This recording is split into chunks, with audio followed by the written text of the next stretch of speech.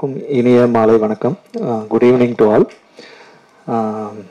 தமிழ்நாட்டில் இருக்க சிறைச்சாலைகளில் எட்டு மத்திய சிறைச்சாலைகளில் ஏழு சிறைச்சாலைகளில் கைதியாக இருந்தேன் அப்படின்னு பெருமையோடு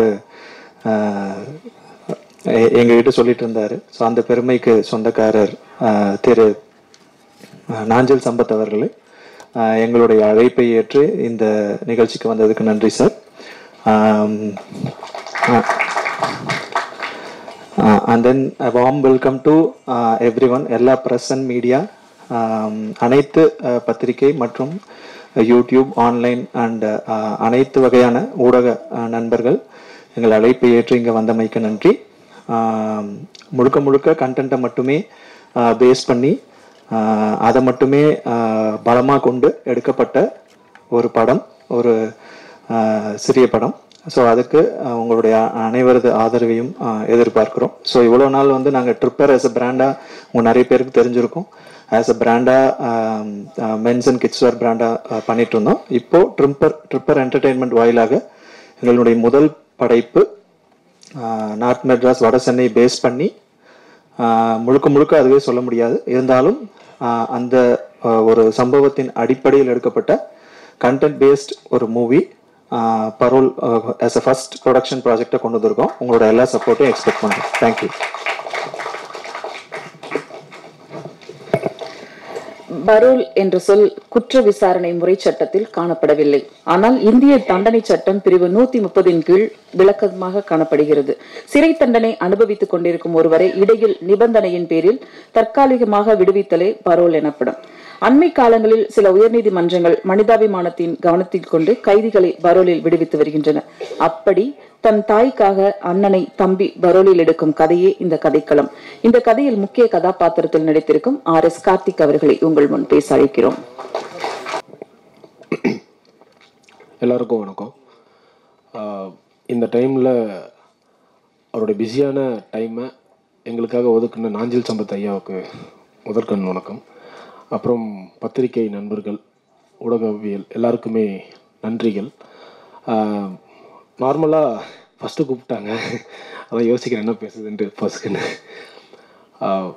இங்கே சினிமாவில் புதுசாக வரவங்களுக்கு அவங்க நம்புறது வந்து பேக்ரவுண்ட் கிடையாது கதை அப்படின்றத எங்கள் டீம் நாங்கள் ஆணித்தனமாக நம்புகிறோம் ஸோ அதை நம்பி பட படத்துடைய கதையில் பிரம்மாண்டம் இருக்கும். படம் எடுக்கிறதுல பிரம்மாண்டம் இல்லை. அது அந்த கதை தான் ஒரு வெற்றி அப்படின்றத நம்பின ட்ரிப்பர் என்டர்டெயின்மெண்ட் மது பிரதருக்கு நன்றி. ஏன்னா எங்களை நம்பி படம் பண்ணதுக்கு. அதுக்கப்புறம் captain of the ship Dwarak. Dwarak Raja ஐயா. ஆச்சு அப்படி கூப்பிடலாம். இந்த கதை எனக்கு வந்தது வந்து நான் ரொம்ப சந்தோஷப்படுறேன். பிகாஸ் ஒருவேளை நான் இந்த படத்தில் நடிக்காமல் இந்த மாதிரி ஆடியோ லான்ச்சோவில் ரிலீஸ் ஆனதுக்கப்புறம் இந்த படத்தை நான் தேட்டரில் பார்த்துருந்தேன்னா கண்டிப்பாக என்ன நானே மூஞ்சிலே குத்திருப்பேன் இந்த மாதிரி படம் நமக்கு கிடைக்கலையே அப்படின்ட்டு. அந்த மாதிரி நான் ஒரு சில படங்கள் ஃபீல் பண்ணியிருக்கேன். ஸோ இந்த படம் அந்த லிஸ்ட்டில் இல்லை. நல்ல வேளை நான் அந்த படத்தில் நடிச்சிருக்கேன். பிகாஸ் இந்த கதை கேட்கும் போதே எனக்கு அந்த கதை ரொம்ப பிடிச்சிருந்தது. மெயினாக என்னுடைய கேரக்டர் நேம் கோவலன். அதுக்கப்புறம் இது டபுள் நாங்கள் ரெண்டு பேரும் நானும் லிங்காவும் பண்ணுறோம் அப்படின்னு சொல்லும் போது இன்னும் கொஞ்சம் ரொம்ப சந்தோஷமாக இருந்துச்சு. பிகாஸ் ஒரு தனி ஃபீல் இருக்கும் அது எங்கள் கதைக்குள்ளே. அது அப்புறம் சொல்கிறேன் இப்போது இந்த படத்தில் ஒர்க் பண்ண கேமரா டிஓபி மகேஷ் பிரதர் மகேஸ்வரனுக்கு நன்றி. அதுக்கப்புறம் மியூசிக் டைரக்டர் ராஜ் பிரதருக்கு நன்றி. அப்புறம் எடிட்டர் முனிஷ் அவருக்கும் நன்றிகள். அப்புறம் இந்த படத்தில் வேலை செஞ்ச டெக்னீஷியன்ஸ் அசிஸ்டன்ட் டைரக்டர்ஸ் ஏன்னா எங்களுடைய தொல்லைகளை அவங்க தான் தான் தாங்கிக்கிட்டாங்க. அது அப்புறம் சொல்ல நினைக்கிறேன். ஓகே சபரீஷ் திலீப் அரவிந்த் தமிழ் அப்புறம் அஜித் ஜெகன் ஜோஜின். ஜோஜின் விட மாட்டிங்களே? அப்புறம் எங்கள் கூட நடித்த மேக்மணி என்னுடைய ஃபஸ்ட்டு சீனியராக வந்தால் ஷார்ட் ஃபிலிம் பண்ணும்போது எங்களுக்கு பேரா பண்ண கல்பிகா அண்ட் மோனிஷா. அப்புறம் வேற யாராச்சும் வந்தால் நான் யோசிச்சு இருக்கேன் எல்லாரையும் சொல்லிட்டு. புரியல. ஆ வினோதினி மேடம் ஜானகி மேடம். இவங்க எல்லாருக்குமே என்னுடைய மனமார்ந்த நன்றிகளும் நன்றிகள் மட்டும்தான். ஓகே. இந்த படம் சிம்பிளாக சொல்லணும் அப்படின்னா ஒரு அம்மா ரெண்டு பசங்க மேலே வச்சுருக்கிற பாசம். It's a triangular love story அம்மாவுக்கும் ரெண்டு பசங்களுக்கும் நடுவில். இது வரைக்கும் நார்த் மெட்ராஸ் ஸ்கிரிப்ட் அப்படின்னும் போது எல்லாருமே Oh, வயலன்ஸ் காமிச்சிருப்பாங்க இந்த படத்தில் வயலன்ஸ் இருக்கும். பட் நார்த் மெட்ராஸில் பிகாஸ் நான் நார்த் மெட்ராஸ் தான். நான் நார்த் மெட்ராஸ் அங்கே வந்து எல்லாமே உங்களுக்கு ரா எமோஷன்ஸாக இருக்கும். அது காதலாக இருந்தாலும் சரி பாசமாக இருந்தாலும் சரி அழுகையாக இருந்தாலும் சரி கோபமாக இருந்தாலும் சரி எல்லாமே ராவாக இருக்கும். இங்கே இருக்க மாதிரி கம்ப்ரஸ்டு ஜேபெக் ஃபார்மேட்டில் இருக்காது. அது ஃபுல் ஃபுல் ரா ஃபார்மேட்டில் இருக்கும். ஸோ அதுதான் இந்த படம். இந்த படம் நவம்பர் லெவன்த் ரிலீஸ் ஆகுது. நீங்கள் எல்லாரும் சப்போர்ட் பண்ணுங்கள் தியேட்டரில் வந்து எல்லாரும் படம் பார்த்து இந்த படம் சக்ஸஸ் ஆச்சுன்னா இந்த மாதிரி கண்டென்ட்டை மட்டுமே அதாவது அண்டர்லைன் த வேர்ட் கண்டென்ட்டை மட்டுமே நம்பி படம் எடுக்கிற நிறைய படங்களுக்கு இது ஒரு பூஸ்டாக இருக்கும். நன்றி. Hello good evening every one நான் ஃபஸ்ட்டு தமிழ் இண்டஸ்ட்ரிக்கு தேங்க்ஸ் சொல்கிறேன் எதானா figure thanks goes to Dwarak because என்னோட Tamil Telugu trailer one film சீதாந்தரோடன் film trailer பார்த்துட்டு இந்த ஃபிலிம்க்கு ஆடிஷன் கூப்பிட்டாளுங்களே. ஸோ பார்த்துட்டு நான் ஃபைவ் மினிட்ஸ் தான் நரேஷன் கேட்டேன். அண்ட் நான் பண்ணுறேன்னு சொன்னேன். ரொம்ப ரொம்ப டிஃப்ரெண்ட்டாக இருக்குது இந்த படம். அண்ட் ப்ரீமியர் பார்த்தாச்சு நான் நாங்கள் எல்லாம். I don't know which edit eighth ninth which edit but நான் டான்ஸ் பண்ணிட்டு வெளியில் வந்தேன். எனக்கு இமோஷன்ஸ் ஈஸியாக மூவ் பண்ணாது. ஆனால் இந்த படம் அத்தன் ரொம்ப மூவ் பண்ண பண்ணாச்சு. அண்ட் நவம்பர் லெவன்த் நான் ஹாப்பி பரோல் டேன்னு சொல்கிறேன் it is gonna make a sensation and ரொம்ப ரொம்ப நாளில் ரொம்ப ரொம்ப இயர்ஸ் யா எல்லாருக்கும் மைண்டில் இருக்கும். அண்ட் நீங்கள் எல்லாருமே back to back three shows book பண்ணிட்டு போங்க. இதனால் ரொம்ப கொஷின்ஸ் இருக்கும். ரொம்ப ஆன்சர்ஸ் தேடி தேடிட்டே இருக்கோம் எல்லோரும். So I am no no no I'm just telling what I feel and Now, I, I learned a lot from this, and uh, Tamil industry and everyone from the team have done their best to make sure I'm feeling very comfortable and home. So thanks a lot. I really wish to do a lot of Tamil films because I know Tamil too. And uh, thank you, sir, for being here. And um, uh, watch Yashoda also. it's releasing on the same day. It's a big day for me. And um, yeah, happy parole day, November 11th. Don't uh, encourage piracy. Come to theatres and watch it thank you நான் மெயினாக thank பண்ணணுன்னா Tarak sir இந்த ஸ்கிரிப்டுக்கு என்னை முத முதல்ல கொண்டு வந்ததுக்கு. And Madhu sir and Mahesh அண்ணா. நான் இதுக்கு சொல்ல போனால் லிஸ்ட்டு போட்டு எல்லாருக்குமே தேங்க் பண்ணணும். ஏன்னா நிறைய விஷயங்கள் நான் அந்த ப்ராஜெக்டில் தான் கற்றுக்கிட்டேன் and chief good sir thank நன்றி எங்களுக்காக இங்கே வந்ததுக்கு. அண்ட் ஈச் அண்ட் ப்ரெஸ்ஸில் இருக்க ப்ரெஸ் மீட் எல்லாரும் இருக்க எல்லாருக்குமே நன்றி. சாரி எனக்கு அவ்வளோ பேசி பழக்கம் இல்லை. எல்லாருக்குமே நன்றி. படத்தை வந்து எல்லாருமே தேட்டரில் பாருங்கள் கண்டிப்பாக உங்களுக்கு புது விதமான ஒரு எக்ஸ்பீரியன்ஸ் கண்டிப்பாக கிடைக்கும். ஏன்னா எங்களுக்கே படம் பார்க்கும்போது அந்த மாதிரி தான் இருந்தது. நாங்கள் பெர்ஃபார்ம் பண்ணியிருந்தாலுமே ஒவ்வொரு வாட்டி பார்க்கும்போது எங்களுக்கு ஒவ்வொரு விதமான எக்ஸ்பீரியன்ஸ் கிடச்சிருக்கு. ரொம்ப எமோஷ்னலாக எல்லாருக்குமே கனெக்ட் ஆகும். And then thank you so much இந்த மாதிரி எல்- எங்களோட சப்போர்ட் எப்போவுமே எங்களுக்கு வேணும். அண்ட் படத்தை பாருங்கள் தேங்க்யூ ஸோ மச் எல்லாருக்கும் வணக்கம். ரொம்ப பயமாக இருக்குது எனக்கு. ஐயா ரொம்ப நன்றி. ஸோ சாரை நான் ஃபஸ்ட்டு மீட் பண்ணும்போது ஃபஸ்ட்டு நான் சார் என்ன அப்புறம் ஐயா என்ன அப்புறம் அண்ணன் அவரும் அதே மாதிரி தான் வாங்க அப்படின்னாரு துவாரக்குன்னாரு. இப்போ வாடா படம்னு கூப்பிட்ற அளவுக்கு நான் அவருக்கு ஒரு செல்லமாக இருக்கேன். அது எனக்கு ரொம்ப சந்தோஷம். ரொம்ப நன்றி ஐயா நீங்கள் வந்ததுக்கு. ரொம்ப ஹாப்பி படத்தோட பேஸ் அதான் லிங்கா சொன்ன மாதிரி அதான் நான் ஒரு ட்ரிப்பர் அவர் அவர் அவர் ஷோரூம் அப்போ தான் ஆரம்பிச்சிருந்தார் எனக்கு நம்ம ட்ரிப்பர் பிராண்டிங் பிஸ்னஸ் எல்லாமே ஆரம்பிச்சிருந்த போது நான் நிறைய ட்ரை பண்ணி அதுக்கப்புறம் எந்த எந்த இதுவும் கிடைக்காம இருந்துச்சு. ஸோ வந்துட்டு படம் பண்ணுறதுக்கான ஆப்பர்ச்சுனிட்டி இல்லாமல் இருந்துச்சு. ஸோ அதுக்கப்புறம் நான் வந்து ஏதாவது சர்வைவல் ரொம்ப முக்கியம் இல்லையா? ஸோ அதனால அவர்கிட்ட ஏதாவது ஒர்க் இருக்குமோ அப்படின்னு கேட்டிருந்தேன். அவர் என்னங்க இப்படி கேட்குறீங்க அப்படின்னு சொல்லிட்டு ஒரு ஒரு டூ த்ரீ டேஸில் வந்து he came up with plan நம்ம படம் பண்ணலாம் அப்படின்னு சொல்லிட்டு. நான் எக்ஸ்பெக்டே பண்ணல. ஸோ இப்படி ஒரு ப்ரொடியூசர் கிடைக்குமான்னு எனக்கு தெரியல. And also end to end வந்துட்டு ஸ்டார்ட்லேருந்து ஃபினிஷ் வரைக்கும் ஒரு கம்ப்ளீட்டான ஃப்ரீடம் அவ்வளோ பயங்கரமான ஃப்ரீடம் அப்படி இருந்தால் மட்டும்தான் இப்படி ஒரு படம் பண்ண முடியும். ஏன்னா என்கிட்ட எதுவுமே கேட்கவே இல்லை. அவ்வளோ ஐ மீன் எந்த க்ரியேட்டிவ் டிஸ்கஷன்லேயுமே வந்து அவர் தலையிடவே இல்லை. ஸோ ஹாப்பி மற்றபடி ஸோ இங்கே மேடையில் இருக்கிறவங்களை தவிர்த்துட்டு இன்னும் நிறைய பேர் இருக்காங்க இந்த படத்தை பேக்கப் பண்ணி இன்னும் அப்லிஃப்ட் பண்ணுறதுக்கு இந்த படத்தோட ரெண்டாவது ட்ரெயிலர் இன்னும் இந்த ட்ரெயிலர் ரிலீஸ் ஆகும் நாளைக்கு தான் ரிலீஸ் ஆகுது. அந்த ட்ரெயிலர் பார்த்துருப்பீங்க. Every family has a story which is not a family ஸ்டோரின்றது தான் இந்த இந்த முழு படத்தையும் அடக்கிற ஒரு விஷயம். எல்லா குடும்பத்துலேயும் ஒரு கதை இருக்கும். நம்ம குடும்பத்துலேயும் இருக்கும். அதை டக்குன்னு அதை வெளில சொல்கிற முடியாது. ஏதோ ஒரு காரணத்தால். அந்த மாதிரி ஒரு கதை தான் இந்த படம். அப்படி ஒரு படத்தை பண்ணுறதுக்கு எல்லாருமே குடும்பமாக சேர்ந்து தான் பண்ண முடியும். அப்படிங்கிறது வந்து படம் ஆக ஐ மீன் ஷூட் பண்ண ஷூட் பண்ண தான் தெரியுது எங்களுக்கு. எல்லாருமே we became one we became a family so இங்கே மேடையில் இருக்கிற எல்லாருக்குமே அவங்களே அறிமுகம் தான். படத்தில் வந்திருக்காங்க. நான் சிலரை மட்டும் டக்குன்னு இன்வைட் பண்ணிடுறேன் ரொம்ப டைம் எடுத்துக்க மாட்டேன். ப்ளீஸ் எல்லாரும் வந்துடுங்க திலீப் சபரிஷ் ஒரு நிமிஷம் வாங்க. டக்குன்னு இன்ட்ரடியூஸ் பண்ணிடுறேன். வாங்க வாங்க. சீக்கிரம் வாங்க சீக்கிரம் ப்ளீஸ் ப்ளீஸ் டக்குன்னு வாங்க. வாங்க வாங்க வாங்க. அகில் புரட்சி சார் புரட்சி சார் இருக்காரா? எங்க அவரு டக்குன்னு டக்குன்னு. அப்படியே வந்து சாரி டக் டக்குன்னு சொல்லிடுறேன் ஜெகன் விஎஃப்எக்ஸ் பண்ணியிருக்கேன் அந்த படத்துக்கு. ஆல்மோஸ்ட் என் ஃபர்ஸ்ட் படத்தில் வந்து எட்டு ஷாட்டு தான் விஎஃப்எக்ஸ் இந்த படத்தில் நானூறு நானூறு ஷாட்டுக்கு மேலே இருக்குது விஎஃப்எக்ஸ் ஸோ சிங்கிள் ஹேண்டடாக வந்து இந்த கோவிட் டைமில் வந்துட்டு ஒரு ரூமில் ஒரு மூணு மாதம் அடைச்சு அவன் ஒர்க் பண்ணியிருக்கான். Thank you Jagan. And also அவன் அசிஸ்டன்ட் டைரக்டராகவும் இருந்தாங்க அந்த படத்தில். தமிழ் அசோசியேட் டைரக்டர் அவர் அவர் வந்துட்டு ஷூட்டிங் டைமில் அவர் எல்லாமே எங்களால் முடியாது. அண்டு uh, புரட்சி சார் அவர் லிரிசிஸ்ட்டு போமா தென்றல் அப்படின்னு ஒரு பாட்டு இருக்குது அந்த வாமா தென்றல் ஒரு பிரேக்கப் சாங் அதோட லிரிசிஸ்ட் அவர் தான் ஸோ அதுக்கப்புறம் சிவம் அந்த இந்த படத்தில் பீஃப்னு ஒரு கேரக்டர் பண்ணியிருக்கான். அந்த கேரக்டர் என்ன ஏதுன்றது அவன் வெளியே வந்ததுக்கப்புறம் கண்டிப்பாக தெரியும். துரு துரு துருன்னு படத்தில் இருப்பான். டேவிட் கிஷோர் சிவா. இவங்க ரெண்டு பேரும் வந்து இந்த படத்தில் வந்துட்டு அந்த ஷேடோ போலீஸ் நைக்ஸ்ன்னு சொல்லுவாங்க. அவங்க நடிச்சிருக்காங்க அவங்க அதுக்கப்புறம் திலீப் அசோசியேட் டைரக்டர் ஒரு பெரிய தூண் அவருக்கு. இந்த எஸ்பெஷலி இந்த மார்க்கெட்டிங் டைமில் வந்துட்டு எல்லாத்தையும் தூக்கி போட்டு அவர் செஞ்சிட்டு இருக்காரு சபீஷ் என்னோட செல்லம் ஸோ அவன் வந்து ஃப்ரம் த ஸ்டார்ட் இப்போ வரைக்கும் வந்துட்டு எந்த டைம்லேயும் வந்துட்டு என்ன என்ன வேலை இருந்தாலும் வந்து எடுத்து போட்டு செய்வான் அவன்.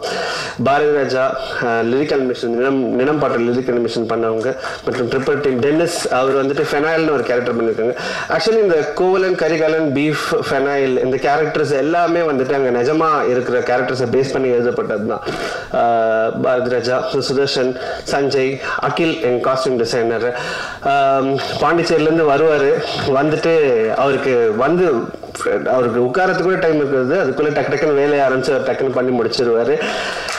மோகன் அசிஸ்டன்ட் எடிட்டர் ரொம்ப இந்த இந்த த்ரீ இயர்ஸ் ட்ராவலில் ஆல்மோஸ்ட் தினமும் நான் மீட் பண்ணுற ஒரு ஃபேஸ் வந்து மோகன் தான். தேங்க்யூ மோகன். அப்புறம் ஜோஜன் ஆஹ் ஜோஜன் வந்துட்டு அவரும் அசிஸ்டன்ட் டைரக்டர் அவர் இங்கே வர முடியல அவரால் ஃபேமிலி ரீசன்ஸ்னால அது இல்லாமல் வந்து அஜித்னு ஒரு முக்கியமான அசிஸ்டன்ட் டைரக்டர் அவர் வந்து ஒரு டூ இயர்ஸ்க்கு முன்னாடி தவறிட்டார். ஐ திங்க் அவன் வந்து சாரி அவன் வந்து எல்லாருக்கும் ஒரு பர்பஸ் இருக்கு இல்லையா? ஏன் பிறந்தோம் அப்படின்றது. இந்த படத்தில் ஒர்க் பண்ணுறது தான் அவன் பர்பஸ் மாதிரி இருந்துச்சு. நடுவில் ஒரு த்ரீ மந்த்ஸ் பீச்லேயே படுத்துட்டு இருந்துட்டு என்ன பண்ணுறதுன்னு தெரியாம ஒரு ஆப்பர்ச்சுனிட்டிக்கு வெயிட் பண்ணி எப்படியோ இங்கே வந்தான். வரும்போது ஃபஸ்ட்டு வந்துட்டு இந்த ஃபஸ்ட்டு த்ரீ டேஸ் வந்துட்டு ரெட்டில் ஷூட் பண்ணோம். இல்லை ரெட்டு ரெட்டுன்றாங்களே ரெட்டுனா என்ன? அப்படின்னு கேட்குற அளவுக்கு தான் இருந்தேன். எங்கே ரெட் இருக்குது எல்லாரும் ரெட்டுன்னாங்க ரெட்டு கேமரா சொல்கிறாங்கடா அப்படின்னு சொல்லிட்டு பிறகு அந்த இந்த இதில் ஸ்டார்ட் பண்ணுவோம் ஆல்மோஸ்ட் லாஸ்ட் ஷெடியூல் வரும்போது அவன் எல்லாத்தையும் எடுத்து போட்டு செய்கிற அளவுக்கு அவன் அந்த அளவுக்கு அவன் முன்னேறினான். அதுக்கப்புறம் ஒரு ட்ரெயின் ஆக்சிடெண்ட்டில் தவறிட்டான். இந்த படத்தோட ஸ்டார்டிங்கில் அவன் ஃபேஸ் வரும். நான் ஒரு பாயிண்ட்டுக்கு மேலே அவன் ஃபேஸ் இந்த படத்தில் வரும். அதுக்காக இந்த படம் நிறைய பேர்கிட்ட போய் சேரணும். This industry mister film mister film maker அப்படின்னு சொல்லிட்டு தான் வந்துட்டு அதை ஸ்டார்ட் பண்ணியிருப்பேன் so will will miss you Ajith மற்றபடி கேமராமேன் மகேஷ்ஜி அவரு நானும் பெரம்பூர் வாசி தான். அவர்கிட்டே சொன்னதில்லை எதுக்காக அவர் இந்த படத்தில் போட்டேன் இப்போ தான் அவருக்கு சொல்ல போகிறேன் இந்த பெரம்பூரில் இருக்கிறவங்களுக்கு வந்துட்டு வியாசர்பாடி பற்றின ஒரு இன்ஃபர்மேஷன் எப்பயுமே வந்துட்டே இருக்கும். நம்மளுக்கு அது ரொம்ப லார்ஜர் சைஸ்லேயே நம்ம இமேஜின் பண்ணிகிட்டே இருப்போம் நம்ம அது. அந்த ஒரு இமேஜினேஷன் வந்து இந்த படத்தில் யூஸ் பண்ணலாம்னு சொல்லிட்டு தான் வந்துட்டு அவரை ஃபஸ்ட்டு போட்டது. அதுக்கப்புறம் ராஜ்குமார் சார் அவர் வந்துட்டு உங்களுக்கு வந்து இந்த படத்தில் வந்து வீணை தபலா ஃப்ளூட்டு பியானோ இந்த மாதிரி இந்த ட்ரெடிஷ்னல் இன்ஸ்ட்ருமெண்ட்ஸ் எதுவுமே வந்துட்டு வராது. சவுண்ட்ஸ் எல்லாமே இப்போ நீங்கள் கேட்ட மாதிரி இந்த லார்ஜர் தென் லைஃப் சவுண்ட்ஸாக சிந்தசைசஸாக தான் இருக்கும். எல்லாமே ப்ரோக்கன் இன்ஸ்ட்ருமெண்ட்ஸால் ஏற்படுற சவுண்ட்ஸு அதை வச்சு மியூசிக் பண்ணியிருக்காரு. ஸோ அது ஒரு ஃபேண்டமாக தெரியும் படத்தில். நடிச்சிருக்கிறவங்க எல்லாருக்கும் சொல்லவே தேவையில்ல. அவங்க பெர்ஃபார்மன்ஸே பார்த்து தெரிஞ்சிருக்கும்.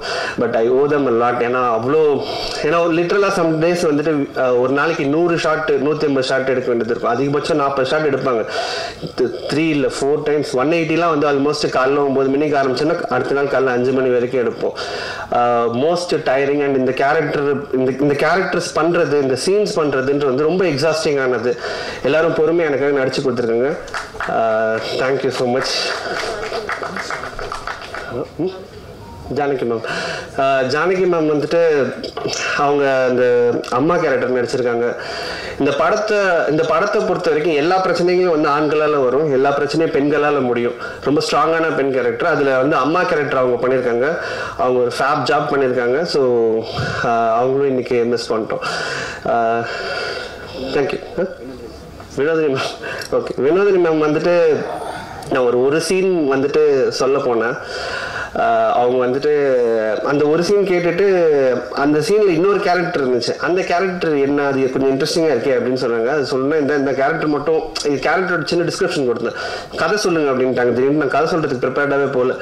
ஒரு அப்படியே அடிச்சு பிடிச்சி ஒரு மாதிரி கதை சொன்னேன் நான். அவங்களுக்கு ரொம்ப பிடிச்சிச்சு நான் சொன்ன ஒரு சீனுக்கு நடிக்கிறதா இருந்தவங்க வந்துட்டு ஆல்மோஸ்ட் ஒரு thirty to forty percent of the ஃபிலிமில் வர மாதிரி இருப்பாங்க. ஒரு பட பட படன்ட்டு அவங்க அவங்க- அவங்க கடத்துகிற டென்ஷன் வந்துட்டு ஒரு த்ரில்லர் படத்தில் கிடைக்கிற டென்ஷனாக இருக்கும் அவங்க பர்ஃபார்மன்ஸ் அவ்வளோ பயங்கரமாக இருக்கும். அகைன் அவங்களும் வந்துட்டு ஒரு பெண். இந்த படத்தில் எல்லா பிரச்சனையும் வந்துட்டு ஆண்கள் ஆரம்பிப்பாங்க பெண்கள் முடிப்பாங்க. அதுவும் அவங்களும் அது ஒன் ஆஃப் த இதுதான். நன்றி. இன்றைக்கி இன்னைக்கு வந்து என்ன சொல்றது கொஞ்சம் காமன் கம்போஸ்ட்டாக என்னால் இருக்க முடியல. என்னோட சன் வேற ஹாஸ்பிட்டல் இருக்காப்புல. ஸோ இன்கேஸ் நான் ஏதாவது பதில் சொல்லும் போது இல்லை எதுனா ரொம்ப சீரியஸாக இருக்க மாதிரி இருந்துச்சுன்னா திமிர் கிடையாது. தாழ்மையாக தான் சொல்லுவேன். ரொம்ப நன்றி. தேங்க்யூ ஐயா உங்களுடைய பேச்சு திறமைக்கும் உங்கள் தமிழுக்கும் உங்கள் குரலுக்கும் ஒரு பெரிய ஃபேன் ஐயா. Thank you so much for coming here yeah அதான் இப்போ கார்த்தி வந்து ஆல்ரெடி எல்லாருமே தேங்க் பண்ணிட்டான். திருப்பியும் திருப்பியும் அதே பேர்களை சொல்லி தேங்க் பண்ண விரும்பல. அண்ட் பர்சனலாக சொல்லணும்னா ஃபஸ்ட்டு மது நான் ஏதாவது தவறாக சொன்னேன்னா எனக்கு கரெக்ட் பண்ணி சொல்லுங்கள் மது. மது வந்து ப்ரொடியூஸ் பண்ணுற ஐடியாவில் ஃபஸ்ட் இருந்தாரானே தெரியல. ஒரு ஒரு ஒரு கான்வர்சேஷனில் துவாரக் வந்துட்டு இல்லைங்க இப்போ கொஞ்சம் ரஃப் பேட்சாக இருக்குது நான் வந்து ரைட்டிங்கில் ஏதாவது வேலை பார்க்கலான்னு இருக்கேன்னு சொன்ன உடனே பதறடிச்சு ஓடி வந்து ப்ரொடியூஸ் பண்ணுறேன் நான் ஒத்து வந்தாப்புல. ஸோ அவ்வளோ பிடிக்கும். சினிமா சினிமா ஃபிலிம் மேக்கிங் ஒரு டேரக்டர் அது அவ்வளோ பிடிக்கும். அவ்வளோ பிடிச்சி இது தைரியமாக அந்த கதையை நம்பி வந்து இறங்கி இவ்வளோத்தையும் ஆர்கனைஸ் பண்ணி இவ்வளோ நாள் நம்ம எல்லாரும் எவ்வளோ நாள் கஷ்டப்பட்டு வேலை செஞ்சோம் எல்லாமே சொல்லலாம். But if not for Madhu கண்டிப்பாக இங்கே இந்த ஸ்டேஜில் நாங்கள் யாருமே நின்றுருக்க மாட்டோம். So thank you Madhu. Thank you so much ரெண்டாவது அடுத்து சொல்லலாம் துவாரக்கு. துவாரக்கு எனக்கு இருக்கிற மாதிரி இந்த ரூமில் மட்டும் இல்லை இருக்கிற எல்லாருக்குமே ஒரு ஃப்ரெண்டு இருந்தானா ஜெயிக்கிறோமோ தோக்குறோமோ ஆனால் அட்லீஸ்ட் ஜெயிச்சிடணும்னு நம்பிக்கையோடு ஓடுறதுக்கு அதோட அதை விட ஒரு பெரிய ஹெல்ப்பாக வேறு எதுவுமே இருக்காது. எட்டு வருஷமாக என்னை தள்ளிட்டு இருக்கான் ஸோ தேங்க்யூ ஸோ மச்டா uh, என்னடா பண்ணுறது அண்ட் uh, uh, மற்றபடி மற்ற ஒர்க் பண்ண எல்லா டெக்னீஷியன்ஸுமே ஹியூஜ் தேங்க்ஸ் மகேஷ்க்கு டெபியூ சூப்பராக பண் ஐ மீன் அதான் அதனால் நீங்கள் பார்த்து சொல்லுங்கள் ஸோ இங்கே வந்திருக்க எல்லாருக்குமே ஒரு பெரிய தேங்க்ஸ் இது ஒரு ஒரு டிஃப்ரெண்ட்டாக வேக்கியாக பண் பண்ணப்பட்ட ஒரு ஸ்கிரிப்ட் தான். ஒரு ஒரு யூஸ்வலான ஒரு ஃபார்மேட்டில் இந்த படத்தை உள்ளடக்கவே முடியாது.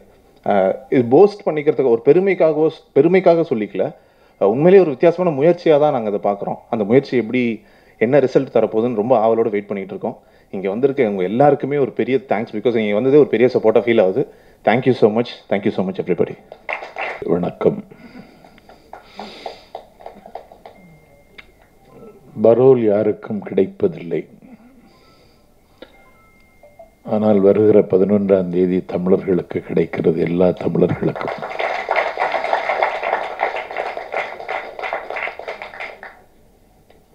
தம்பி மதுசூதனனுடைய தயாரிப்பில் தம்பி துவாரக்ராஜ் இயக்கத்தில் தம்பி கார்த்திக்கும் லிங்காவும் கதாநாயகனாக நடிக்கின்ற இந்த பரோல் வாகை சூட வேண்டும் என்று வாழ்த்துவதற்காக நான் வந்திருக்கிறேன். நீலத்திரைகடல் ஓரத்தில் நின்று நித்தம் தவம் செய்யும் குமரி எல்லையின் எல்லையிலிருந்து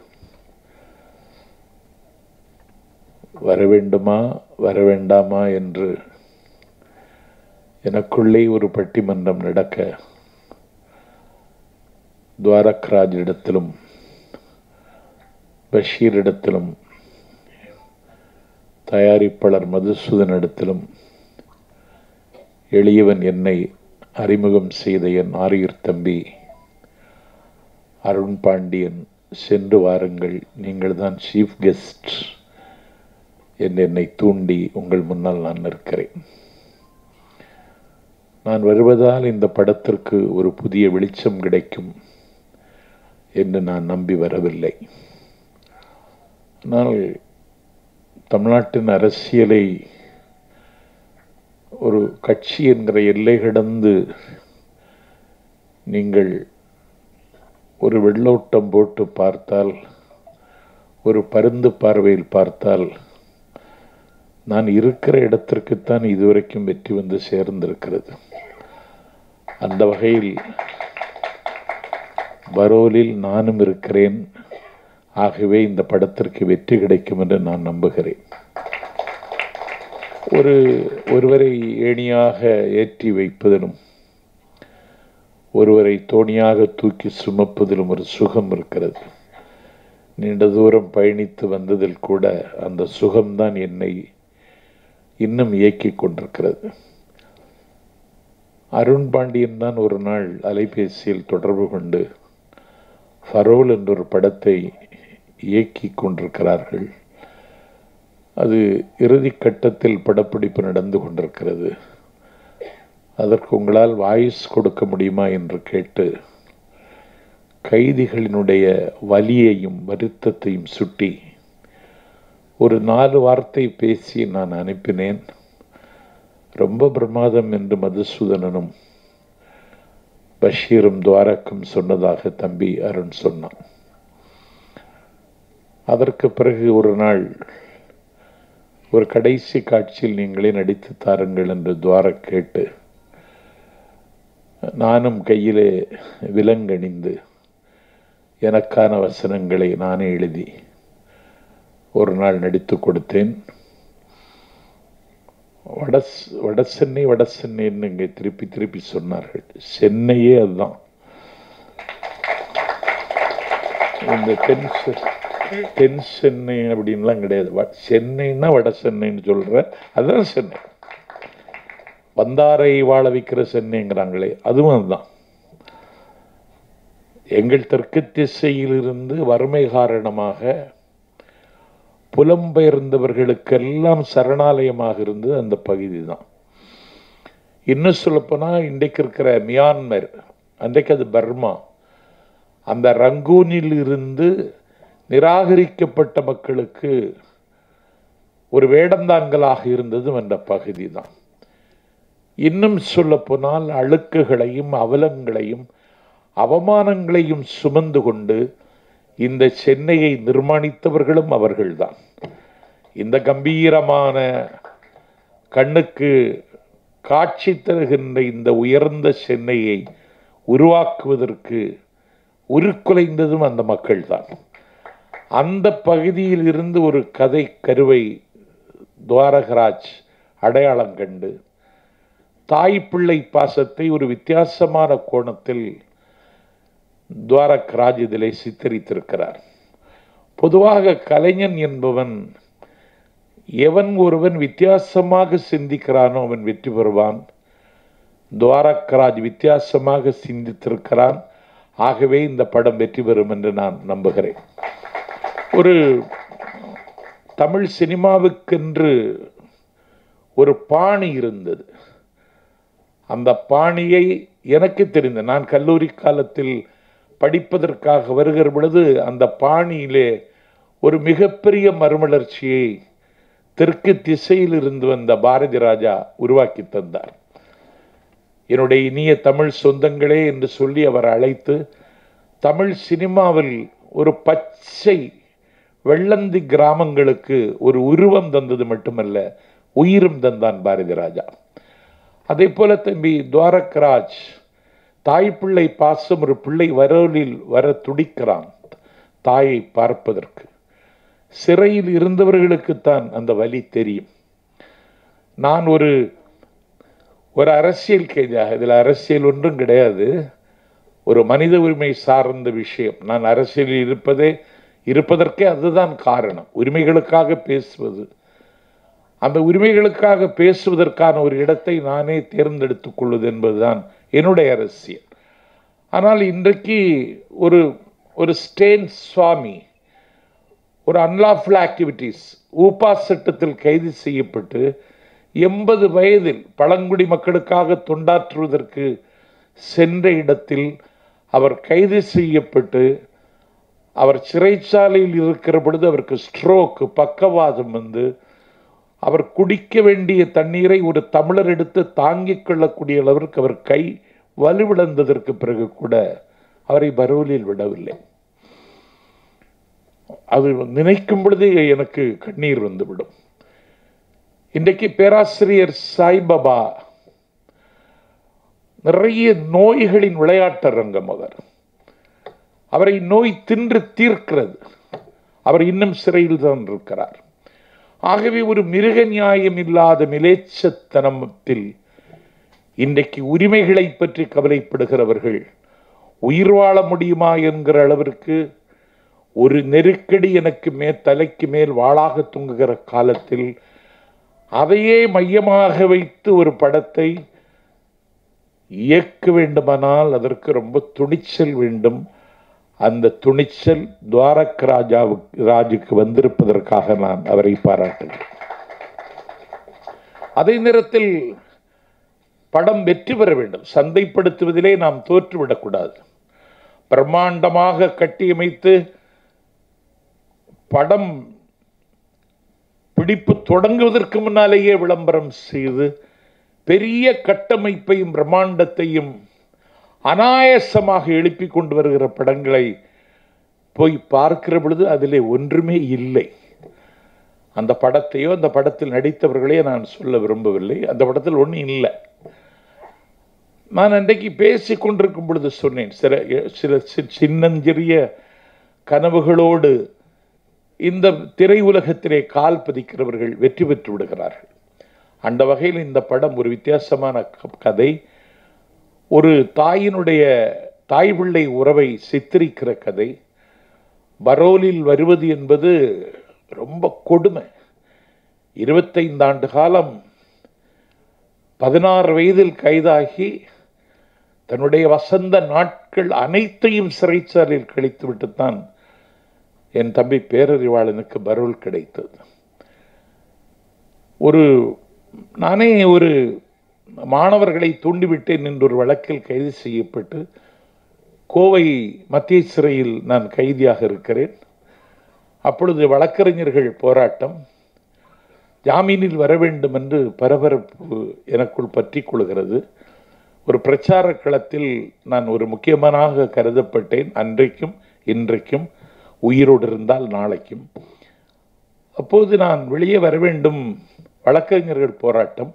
என்னுடைய உடன் பிறந்த தம்பியே வழக்கறிஞராக இருந்தாலும் வழக்கறிஞர்கள் போராட்டம் என்று அறிவித்துவிட்டால் அண்ணனை விடுவிப்பதற்கு கூட கோர்ட்டில் ஆஜராக மாட்டார்கள். இது வக்கீல் தர்மம். ஆனால் எனக்கு வக்கீல் இல்லை. ஆனால் வெளியே வர வேண்டும். நான் சிறைச்சாலையில் இருந்து கொண்டே காணொளி மூலம் திருப்பூர் குற்றவியல் நடுவர் மன்றத்தினுடைய நடுவருக்கு வழக்கறிஞர்கள் போராட்டம் நடந்து கொண்டிருப்பதால் எனக்காக வாதாட யாரும் இல்லை நானே எனக்காக வாதாடுகிறேன். என்னை குற்றவியல் நடுவர் மன்றத்திற்கு அழைத்து வருவதற்கு ஜெயில் சூப்பரிண்டெண்டன்ட் சிறை கண்காணிப்பாளருக்கு மெமோ அனுப்புங்கள் என்று சிறைச்சாலையில் இருந்தே நான் கேட்டேன். உடனடியாக மெமோ அனுப்பப்பட்டு பலத்த போலீஸ் பாதுகாப்போடு நான் திருப்பூர் குற்றவியல் நடுவர் மன்றத்திற்கு அழைத்து செல்லப்பட்டேன். எனக்கான விடுதலைக்கு நானே குற்றவியல் நடுவர் மன்றத்தில் வாதாடினேன். இரவெல்லாம் படிக்கிற பழக்கம் எனக்கு. கம்பிக்குள்ளே நான் அடைபட்டு கிடக்கிறேன். வெளியிலே வராந்தாவில் லைட் இருக்கும். அந்த வெளிச்சம்தான் படிப்பதற்கு எனக்கு கிடைக்கும். இரவு பத்தரை மணி இருக்கும். படித்து கொண்டிருக்கும் பொழுது பத்தரை மணிக்கு செய்தி சொல்லிட்டாங்க. திருப்பூர் குற்றவியல் நடுவர் மன்றம் உங்களுக்கு ஜாமீன் தந்து விட்டது என்று. எனக்கு ரொம்ப மகிழ்ச்சி. நாளைக்கு வெளியே போகிறேன் என்ற ஒரு மகிழ்ச்சி. நான் காலையிலே எழுந்தவுடனே நான் இன்னைக்கு போயிடுவேன் அப்படின்னு கைதிகள்கிட்ட. அந்த கைதிகள்ங்கிறது சிறைச்சாலையில் நீங்கள் எனக்கு அனுபவம். பாதி பேர் நிரபராதிகள் குற்றமே செய்யாமல் பத்தாண்டுகள் பதினைந்து ஆண்டுகள் சிறைச்சாலையிலேயே இருக்கிறார்கள். அவர்களோடு பேசி நான் போயிடுவேன் அப்படின்னு சொல்லி என்கிட்ட இருந்த வேட்டி சட்டை டிஷர்ட்டு பேஸ்ட்டு ப்ரஷ்ஷு நான் நிறைய பழம் கொண்டு தந்தாங்க. எனக்கு பழம் பிஸ்கட்டு பன்னு ரொட்டி எல்லாத்தையும் கைதிகளுக்கு கொடுத்துட்டு ஒரு கைதி வந்து என்ட நீங்கள் தான் போகிறீங்களே எனக்கு துணியெல்லாம் வைக்க பெட்டி இல்லை உங்கள் பெட்டியை தாங்களேன் அப்படின்னு கேட்டார். என்கிட்ட ஒரு எக்கோலாக் பெட்டி இருந்து நான் அதை எடுத்து அவர்கிட்ட கொடுத்துட்டு நான் பத்து மணிக்கு அவங்கள்ட்ட கையசைத்து கண்ணீர் சிந்தி நான் விடைபெற்று கையெழுத்து போட்டுட்டு என்னை வெளியே அனுப்புவாங்கன்னு சொல்லி சூப்பரண்ட் அறைக்கு போனேன். வாங்க உட்காருங்கன்னு சொல்லி கையெழுத்து போடுங்கள். விடுதலைக்காக அல்ல. மீண்டும் உங்கள் மீது ஒரு விலங்கு போடப்படுகிறது. நீங்கள் இன்று முதல் தேசிய பாதுகாப்பு சட்டத்தில் கைது செய்யப்படுகிறீர்கள் என்று. என்னை தேசிய பாதுகாப்பு சட்டத்தில் கைது செய்தார்கள். ஆகவே பரோலில் வருவது என்பது அது ஒரு சிலுவைப்பாடு அது ஒரு ஆடிப்பிறை அது ஒரு அத்திப்பூ. அதை மையமாக வைத்து ஒரு சின்ன சின்ன இலைகளால் கதையை பின்னி அற்புதமான பாடல் இசையமைப்பாளர் ஒளிப்பதிவாளர் நல்ல டீம் ஒர்க்குன்னு சொன்னாங்க இந்த டீம் ஒர்க்கு. இதில் ஒரு கடைசி நேரத்தில் நானும் ஒரு புள்ளியாக இதில் இணைந்ததில் எனக்கு ரொம்ப மகிழ்ச்சி. ஏன்னா சமூகம் சார்ந்து சிந்திக்கிறவன் தான் உன்னதமான கலைஞன். அவர்களே கலைஞர்கள். கலையும் இலக்கியமும் மக்களுக்காக என்று சொன்னான் மாயாகோஸ்கி அது ஒரு இயக்குனர் சொன்னதாக எனக்கு நினைவு. பூட்டாத பூட்டுக்களுக்காக சாவிகளை தேடிக்கொண்டிருக்கிறவன் தான் கலைஞன் என்று ஒரு இயக்குனர் சொன்னார். பூட்டாத பூட்டுகளை பூட்டுவதற்காக சாவிகளை தேடிக்கொண்டிருக்கிற மகத்தான கலைஞனாக இதிலே துவாரகராஜ் அவதாரம் எடுத்திருக்கிறார். ஆயிரம் கனவுகளோடு தம்பி மதுசூதனன் இதை தயாரித்திருக்கிறார். திருப்பூர்காரர் திருப்பூர்காரர்கள் வெற்றி பெற்று விடுவார்கள் என்று ஒரு நம்பிக்கை இருக்கிறது. அதிலும் இந்த வெற்றி நீங்கள் அவருக்கு கொடுத்து விட்டால் இந்த படத்தை தொடர்ந்து ஒரு சமூக பிரச்சனை உள்ள படங்கள் தொடர்ந்து வரும்.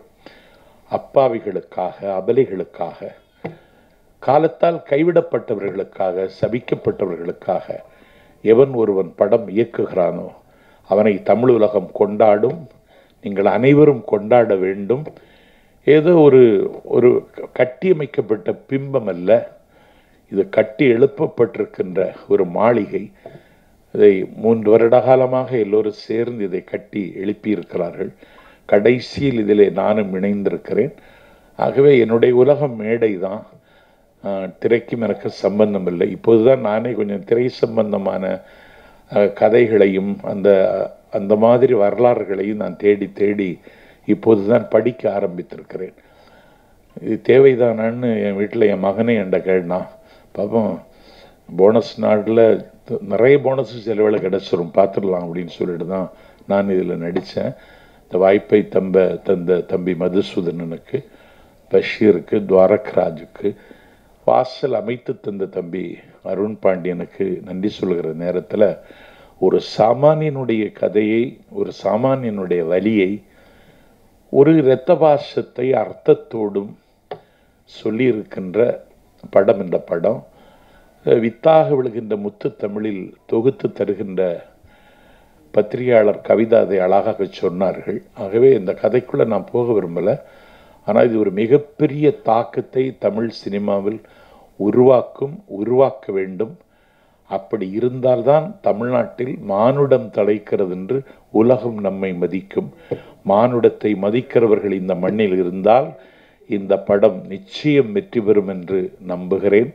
அந்த வெற்றிக்கு உழைத்தவர்களுக்கு வியர்வை பாசனம் செய்தவர்களுக்கு விடிய விடிய வினையாற்றியவர்களுக்கெல்லாம் என்னுடைய வாழ்த்துக்களும் வணக்கங்களும். பதினொன்றாம் தேதி திரைக்கு வருகிற பொழுது குடும்பத்தோடு சென்று இந்த படத்தை பார்த்து இதற்கு மிகுந்த ஆதரவை தமிழ் மக்கள் தருவதன் மூலம் சமூகத்தினுடைய வலியை புலப்படுத்துகிற படங்கள் தொடர்ந்து வருவதற்கான வாசல் துவாரகாவே ஒரு குகை தான் அதை துவாரகா மு- துவாரகராஜ் அதை தொடங்கி வைக்கிறார் என்றே கருதுகிறேன். அதற்கு முகம் தந்திருக்கின்ற தம்பி மதுசூதனன் இன்னும் பல படங்களை தயாரித்து அதில் மிகப்பெரிய வெற்றியை பெற வேண்டும் என்று வாழ்த்தி இந்த நாளை எனக்கு இனிய நாளாக்கி தந்திருக்கிற ட்ரிப்பர் குடும்பத்திற்கு என்னுடைய உள்ளத்திலிருந்து ஊறி வருகிற நன்றி உணர்ச்சியை காணிக்கையாக்கி இனி பேசுவதற்கு ஒன்றுமில்லை. பாருங்கள் பரோல் உங்களுக்கும் கிடைக்கும். நன்றி.